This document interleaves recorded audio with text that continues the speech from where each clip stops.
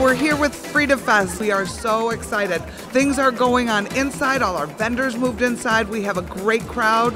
The Miss Mexican Heritage Contest is going to start shortly. We have vendors inside. We have decorations inside. We have tours going on in the gallery, and tickets are already on sale. They started this morning.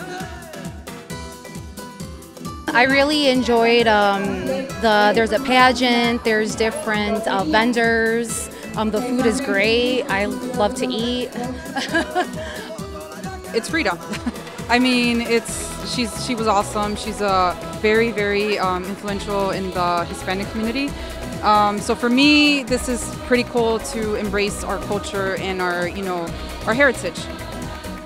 I'm going to ask you to just tell everybody what you think of what's happening here.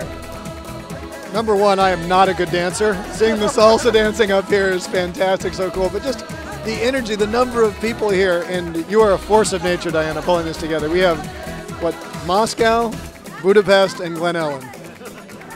Two second tier cities in Glen Ellyn for Frida. That's pretty awesome. Well done. A lot of people have come out to enjoy this amazing event. Um, and part of the reason is because there's a lot of excitement about Frida Kahlo. Frida Kahlo is probably the most famous female artist of the 20th century.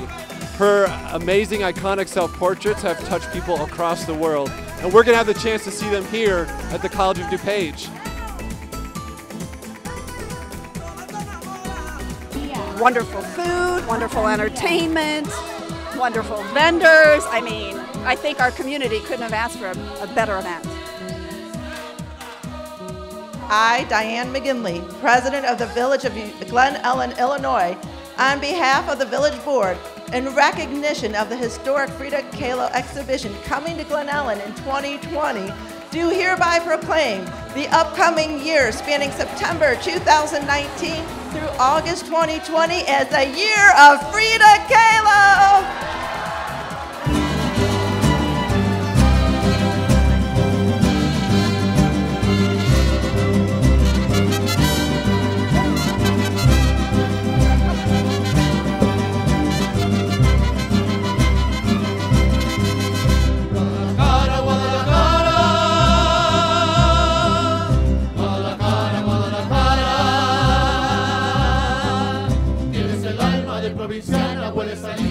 the